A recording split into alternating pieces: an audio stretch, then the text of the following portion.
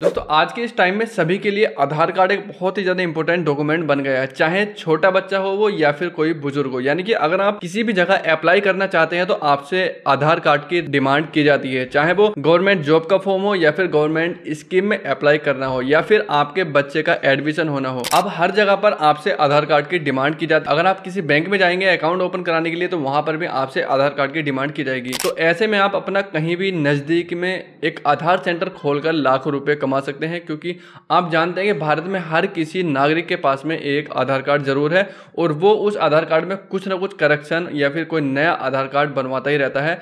तो ऐसे में एक आधार कार्ड सेंटर खोल के आप ठीक ठाक वाली कमाई कर सकते हैं। तो आज की इस वीडियो में हम इन डिटेल जानेंगे दोस्तों कि 2024 में नया तरीका कौन सा आया है, जिसकी मदद से आप अपने आधार सेंटर खोल सकते हैं कहीं भी। एंड इसी के साथ में हम ये भी बात करेंगे कि आधार सेंटर खोलने के लिए कौन कौन सी चीज़ें ज़रूरी है, कितना खर्च इसमें आता है और कौन कौन से इक्विपमेंट की हमें नीड होगी और ज़रूरी डॉक्यूमेंट कौन से होते हैं, सभी चीज़ें इन डिटेल में बात करेंगे। लास्ट में मैं आपको बताऊँगा कि आधार सेंटर लेने के लिए आपको कहाँ पर जाकर के इसके लिए अप्लाई करना है, ताकि आपको जल्दी से जल्दी आपका आधार सेंटर मिल जाए। Hello everyone, this is Alam and you are watching technical fast YouTube channel so without wasting any further time let's get started देखिए, सबसे पहले हम बात करेंगे कि एक आधार सेंटर ओपन करने के लिए आपको किन किन चीज़ों की नीड होगी। देखिए देखिए, सबसे पहले आपको ज़रूरत होगी एक बिल्डिंग की, यानी कि जहाँ पर आपको वो आधार सेंटर ओपन करना है। एंड जब आपके पास बिल्डिंग अवेलेबल हो जाएगी तो उसके अंदर एक इंटरनेट कनेक्शन का भी होना ज़रूरी है, ताकि आप अपने मोबाइल फ़ोन से या फिर लैपटॉप से इंटरनेट आसानी से ब्राउज कर सके। और कुछ मशीन होती हैं जिनका यूज़ करके आपको आधार कार्ड बनाना है, जैसे कि ई के करने के लिए आपके फिंगरप्रिंट मशीन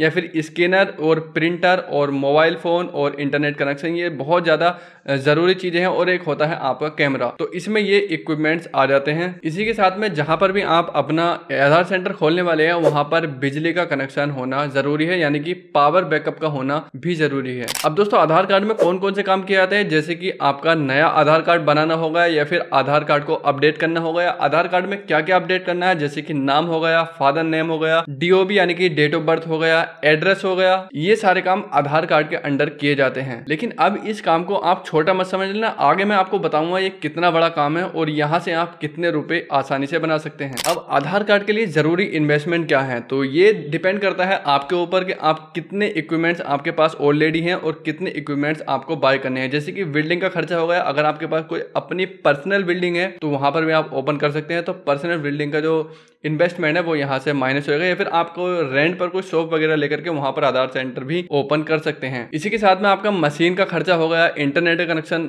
का खर्चा हो गया एंड जो भी आप इक्विपमेंट बाय करने वाले हैं वो हो गया, और जो भी आपके डॉक्यूमेंटेशन कंप्लीट करने हैं वो खर्चा हो गया। यानी कि ये कुल मिलाकर के दो से तीन लाख रुपए के आसपास ये खर्च बैठता है। मैं तो ये समझता हूँ कि अगर आप रेंट पर लेकर के अपना कोई आधार कार्ड सेंटर खोलते हैं तो ये टू लैख के अंदर अंदर ही आपका सारा काम आसानी से हो जाएगा। तो देखिए, आधार कार्ड सेंटर ओपन करने के लिए क्या क्या इक्विपमेंट की ज़रूरत है, वो आप यहाँ पर स्क्रीन पर देख सकते हैं। जैसे कि लैपटॉप या फिर डेस्कटॉप की ज़रूरत पड़ेगी आपको स्कैनर कैमरे की ज़रूरत पड़ेगी और आधार ऑपरेटर सर्टिफिकेट या फिर आधार सुपरवाइजर सर्टिफिकेट जो कि एन e की तरफ़ से प्रोवाइड किया जाता है, वो होना आपके लिए ज़रूरी है। उसके बिना आपको आधार सेंटर की आईडी मिल ही नहीं सकती। उसके बाद आपके पास फिंगरप्रिंट स्कैनर होना चाहिए आयरिस स्कैनर होना चाहिए और एक जीपीएस ट्रैकर भी आपके पास होना चाहिए। इसी के साथ में आपको, आपके पास प्रिंटर, स्कैनर और वेब कैम होना चाहिए। ये ज़रूरी इक्विपमेंट है जिनकी आपको नीड पड़ेगी। अब दोस्तों, यहाँ पर आप स्क्रीन पर देख सकते हैं कि आधार कार्ड के लिए ज़रूरी डॉक्यूमेंट्स कौन कौन से हैं, जैसे कि आपके पास आधार कार्ड, पैन कार्ड और वोटर कार्ड का होना ज़रूरी है एंड करेक्टर सर्टिफिकेट का होना ज़रूरी है और एक पुलिस वेरिफिकेशन सर्टिफिकेट होता है, जो कि ऑनलाइन पुलिस की वेबसाइट से ही बन जाता है और एक एन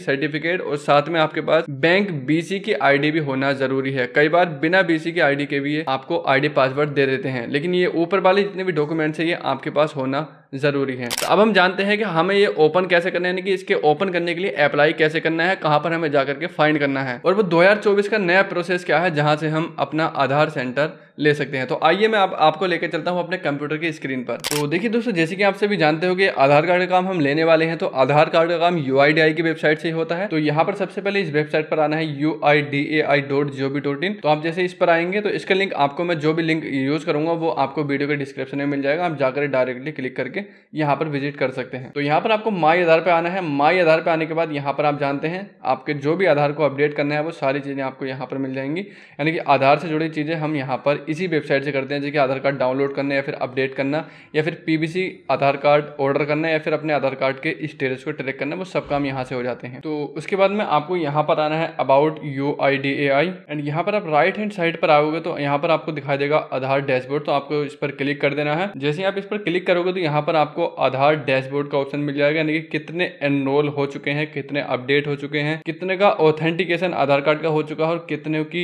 ई के हो चुकी है। यहाँ पर आपको सारी डिटेल मिल जाएगी आधार कार्ड के बारे में। तो आपको यहाँ पर आना है एनरोलमेंट तो आपको सिंपल इस पर क्लिक कर देना है। यहाँ पर आपको मिलेगा by state and UT and by registrar and by enrolment agency तो यहाँ पर जितने भी ऑप्शन दिए गए हैं तो आपको इस पर क्लिक करना है बाई एनरोलमेंट एजेंसी एंड उसके बाद में आपके जितनी भी एजेंसी आधार कार्ड का काम प्रोवाइड करा रही है, उनकी लिस्ट आपको यहाँ पर मिल जाएगी। अब आपका यहाँ पर मेन काम शुरू होता है, जो कि आपको करना है। यहाँ पर जो भी एजेंसी है, यहाँ पर आप देख सकते हो, जैसे काव्या डेटा मैनेजमेंट ये एक एजेंसी है। तो ये सबसे ज़्यादा आधार कार्ड सेंटर ओपन कराती है, इसीलिए इसके थ्रू ज़्यादा आधार कार्ड बने हुए हैं। यहाँ पर आप देख सकते हैं तो आती स्मार्ट कार्ड ये एक कंपनी है तो इसके थ्रू भी बहुत ज़्यादा आधार कार्ड बन रहे हैं। एंड जिसके थ्रू ज़्यादा आधार कार्ड बन रहे हैं, समझिएगा, वो ज़्यादा आधार सेंटर प्रोवाइड करा रही है तो इसी तरह से आप यहाँ पर देख सकते हैं। एंड अब आपको करना क्या है, यहाँ पर जो भी एजेंसी है, आपको उस पर जाना है, एंड उसका जो भी नाम है, जैसे कि यहाँ पर नाम से हो रहा है, उसका नाम कॉपी करना है,